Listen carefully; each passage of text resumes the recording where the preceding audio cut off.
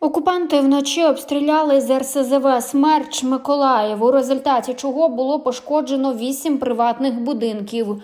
Поранення отримали троє людей, включаючи 13-річну дівчинку. Внаслідок обстрілу пошкоджено вісім приватних будинків. Ще в одному сталася пожежа. Деякі будинки залишились без електроенергії. Також на одному з підприємств від обстрілів понівечені склади та автобаза. Крім того, ворог обстріляв Нікопольський район Дніпропетровської області. Внаслідок обстрілів щонайменше 14 загиблих. Ворог двічі обстріляв Нікопольський район з градів, скерував по житлових кварталах 80 реактивних снарядів. Свідомо і підступно ударив, коли люди спали. Під вогонь потрапили Марганіс та Мирівська громада. У Марганці 13 людей загинули, 11 постраждали, з них 5 у важкому стані. У місті понівечені понад 20 багатоповерхівок.